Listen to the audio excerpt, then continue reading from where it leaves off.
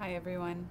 My name is Chelsea and today we're going to be doing our meditation and lesson about not stealing and gratitude. And our story today comes from us from Zen Shorts. There's a few different stories in here and this is one of the very first ones.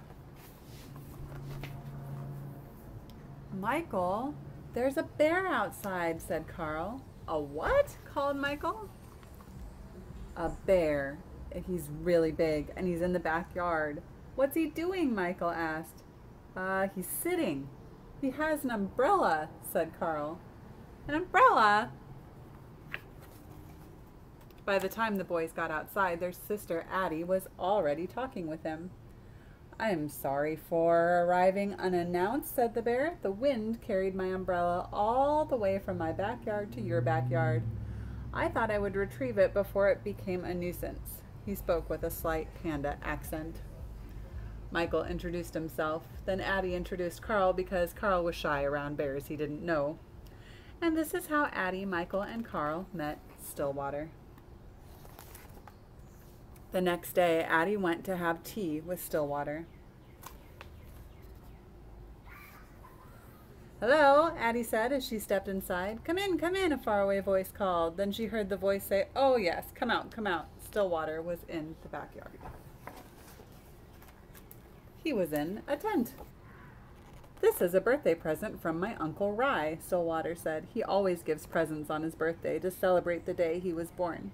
I like it so much that I'm not staying in my house right now. Stillwater invited Addie to sit with him. You brought me some cake, said Stillwater. That was very nice of you. Is it your birthday? he asked. Uh, no, said Addie. It's not mine either, said Stillwater, but let me give you a gift for my uncle's birthday. I will tell you a story.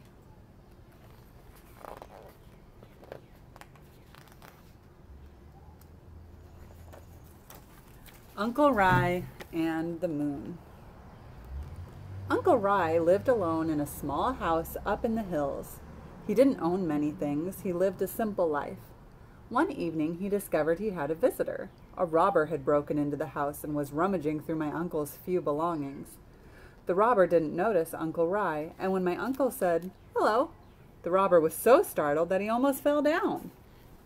My uncle smiled at the robber and shook his hand. Welcome, welcome, how nice of you to visit. The robber opened his mouth to speak, but he couldn't think of anything to say. Because Ry never lets anyone leave empty handed, he looked around the tiny hut for a gift for the robber, but there was nothing to give. The robber began to back toward the door. He wanted to leave. At last, Uncle Ry knew what to do. He took off his only robe, which was old and tattered. Here, he said, please take this. The robber thought my uncle was crazy.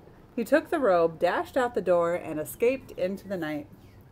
My uncle sat and looked at the moon, its silvery light spilling over the mountains, making all things quietly beautiful. Poor man, lamented my uncle. All I had to give him was my tattered robe. If only I could have given him this wonderful moon. Your uncle sounds nice, said Addie. I don't think I could have given away my only robe. I know how that is, said Stillwater, but there's always the moon. And that's where we're going to end the story today. So I have a few questions for you, for you and your family to talk about feel free to pause the video so that you can talk about them if you'd like.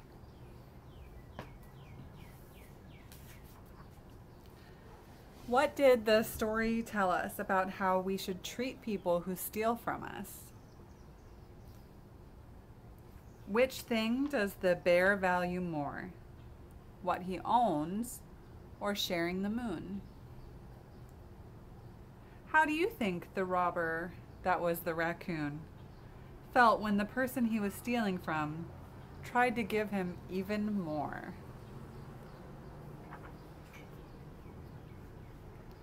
Do you think that it is stealing to pick a flower from someone's yard without asking them? How about picking flowers in the woods? What about the insects and the birds who need those flowers?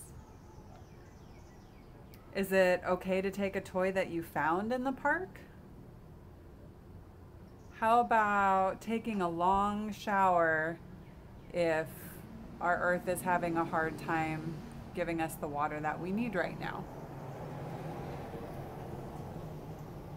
And those are all the questions I have. Next, we're going to do a meditation. And so, if you get yourselves ready by starting to find a seat or a place that you can lay down on the ground and get comfortable, then we will get started with our meditation. Our meditation today is called the Thankful Turtle. And we'll listen to our bell and then we'll get started.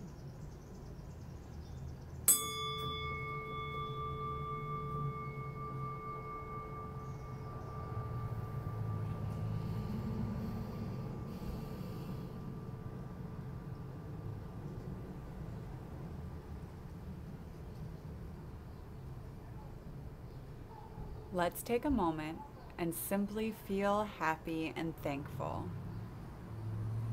Noticing what we appreciate makes our hearts feel so very full. It also gives us deep peace and joy. So, let your eyes close if they're not already.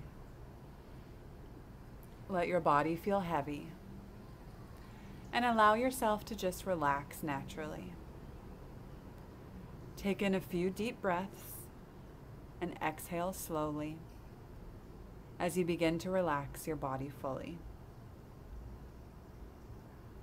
Now, imagine an extremely cute and cuddly little cartoon turtle. He's not real, of course, but I'm sure you can see him very clearly in your mind. He can stand on his back legs and he has little turtle flippers, big eyes, a funny nook nose, and a silly smile. You see a twinkle in his eye? This is the thankful turtle. Isn't he adorable? The thankful turtle is here to remind us of all the things we have to be thankful for, even when our days are sometimes rough. First of all, the little happy turtle reminds you that you woke up this morning. Thank goodness you woke up to a beautiful day of life, a life that holds adventures and many surprises. You think to yourself how very thankful you are that you simply woke up and had the opportunity to experience the day.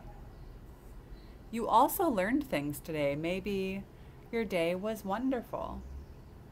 Also, maybe your day was difficult.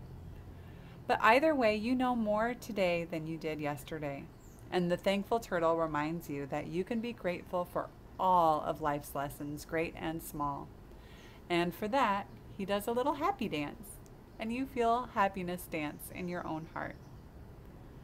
Thankful Turtle looks at you with a gleam in his eye now and smiles as he looks up at your strong body.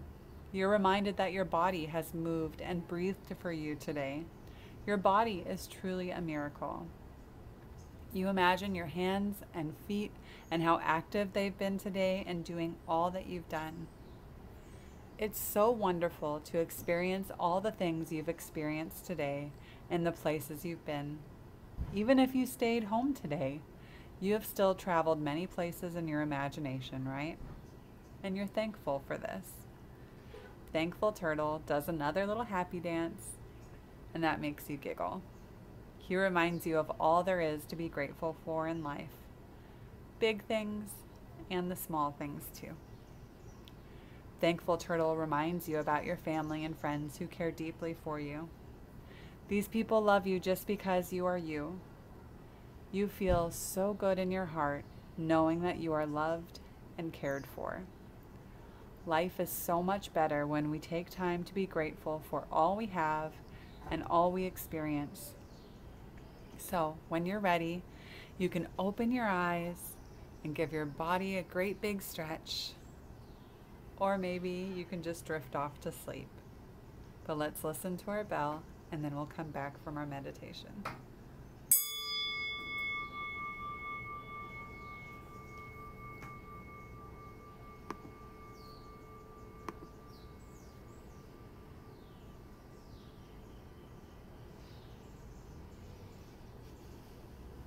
That's all I have for you today. Thank you so much for joining me. Have a good week, everyone. Bye.